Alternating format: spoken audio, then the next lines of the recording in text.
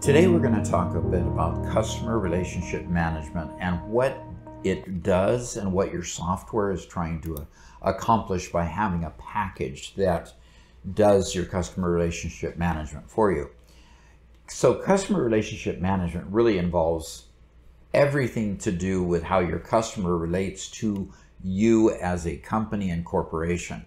You're, you want to increase customer loyalty and you want to increase the retention. You want to keep them coming back because both of those things then increase an organization's profitability. The number one challenge that, co that companies always have simply is getting customers and getting the customers to continue buying. It is a whole lot less expensive to keep a customer coming back than it is to try to capture more customers.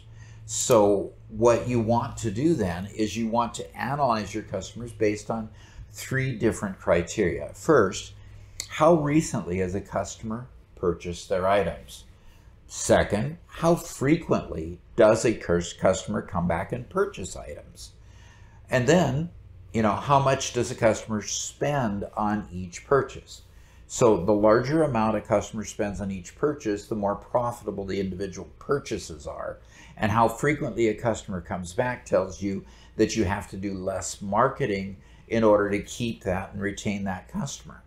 So RFM, recency, frequency, and the monetary value of their purchases becomes very important. Now, as we look at the data that's being captured by the customer relationship management software, of course, we can do customer reporting and identification.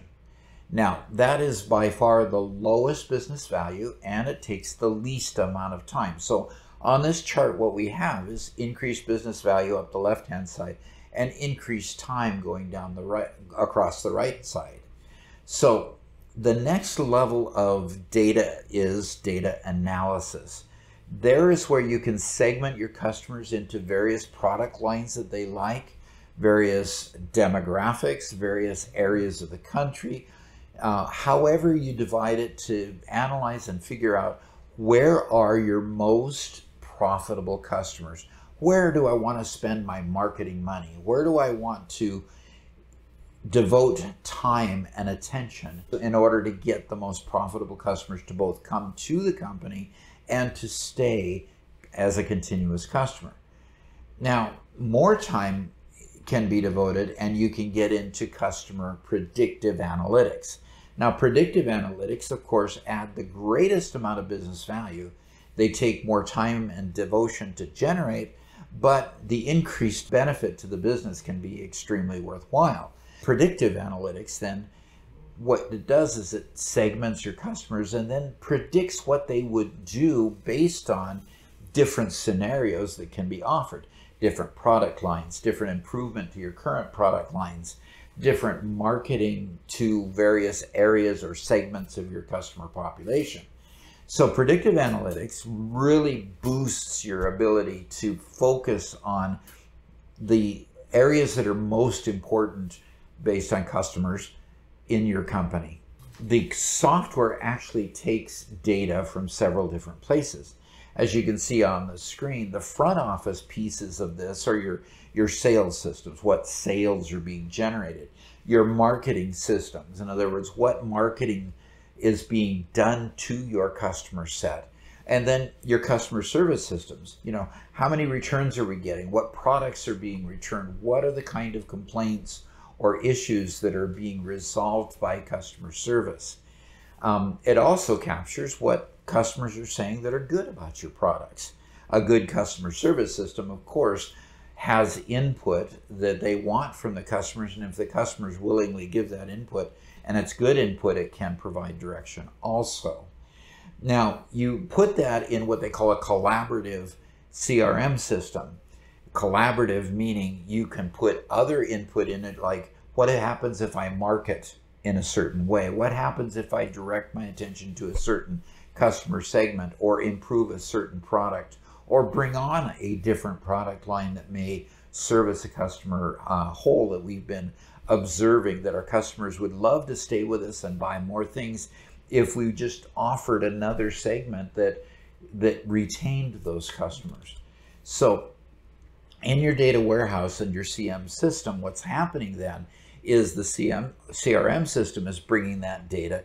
You also have the ability to do some data mining on that as well. So the CRM system will integrate all that data and allow those various views of the customer.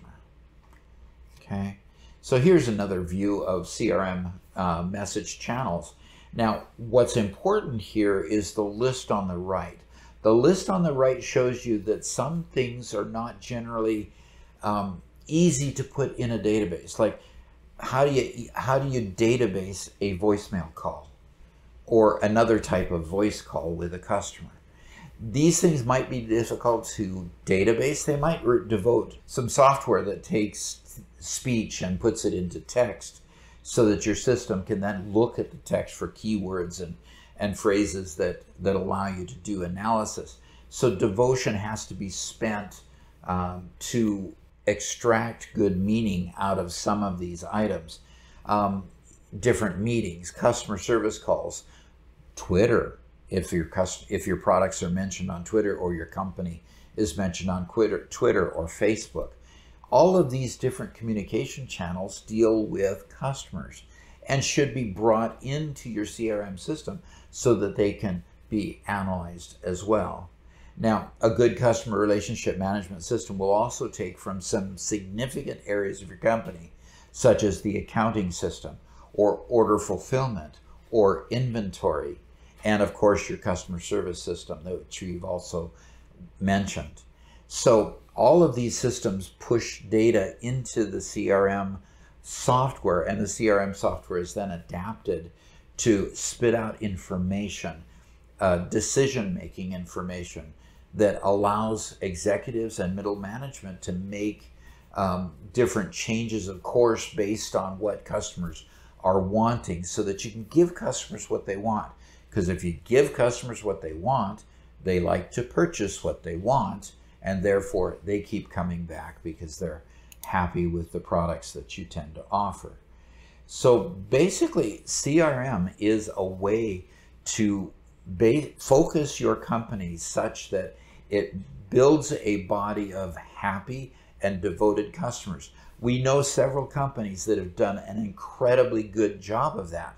You know, Apple Corporation it seems to be the, the consummate example of a company that caters to its individual audiences. They're not they don't have the largest audience. I mean, they don't sell the most cell phones, for example, but their customer base is incredibly devoted to their products and rightly so. They do a very, very good job in their customer relationship management, and that is the key. If we could all emulate the customer relationship management expertise and acumen of an Apple Corporation, all of our companies would be top notch and well performing companies. So if you like what you heard, hit that like button for me and help grow the channel by subscribing.